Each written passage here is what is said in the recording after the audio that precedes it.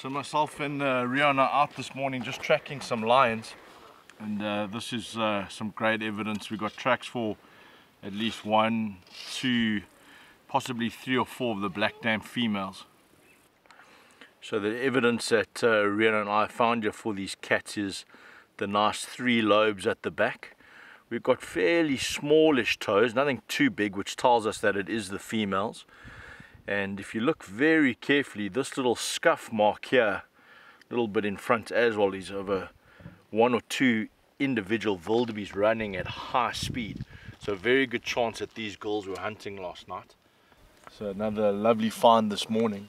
we've got three young females of the Black Dam Pride. We're not too sure where the rest of the Pride is at the moment. They have, or they seem to be staying around this uh, Jackalberry airstrip I'm sure you guys can't see it, but we've got a herd of wildebeest on approach. So I think we're just going to spend a few hours here, maybe we get a little bit lucky. Maybe we can bring you guys a little bit of action later. Got a lovely uh, breeding herd of elephants here at Mhloti Dam. Let's uh, do a nice slow approach and uh, let's see what's happening.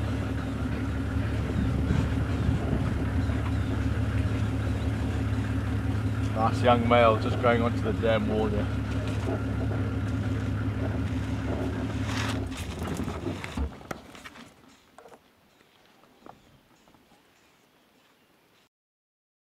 So we've had the breeding herd of elephants move off just to our north. Got a got a young little teenage bull here, maybe in his late teens, getting a little bit stroppy with us. But this is typical behavior, perfectly safe, and we're just gonna sit here and enjoy it.